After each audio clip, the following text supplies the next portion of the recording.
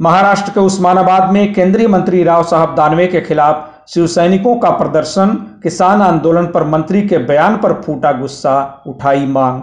माफ़ी मांगे मंत्री।